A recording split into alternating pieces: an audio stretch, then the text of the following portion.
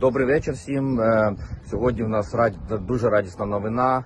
Е, Сьогодні третій день е, спеціальної операції, так званої, яку ми називаємо евакуація Азовсталь. Вперше за спочатку війни, спочатку блокади Азовсталі, нам вдалося вивезти понад 100 е, цивільних. Це маленькі діти, це жінки, а також люди похилого віку.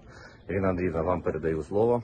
Дякую. Найперше, колеги, вибачте, що ми так мовчали. Ми дуже хотіли, щоб це вдалося. І наша мовчанка була лише заради того, щоб люди вибралися живими, неушкодженими. Те все, що ви чули і бачили, напевно, на е, пабліках окупанта. Не вірте, не слухайте.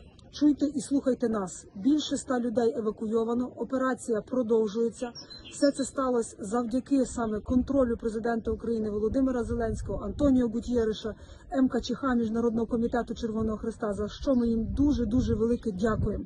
Але деталі будуть згодом. Вже завтра, я сподіваюся, ми з Давидом Георгійовичем будемо зустрічати наших рідних маріупольців, які змушені були більше 50 днів під завалами, без їжі, без води, без зв'язку.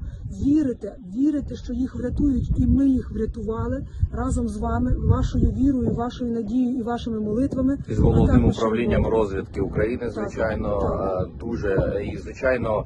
Е, Наші хлопці герої з Азову, е, вони там тримаються. Далі в нас наступна наступна етап операції. Звичайно, це розроб... е, вивести всіх інших. Там ще багато людей лишаються. В них багато проблем.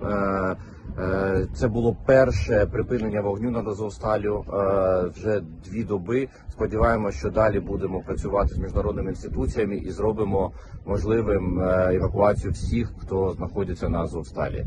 Тримаємось, Україна переможе. Всім дякуємо, тримаємось, молимось, сподіваємось. До зустрічі.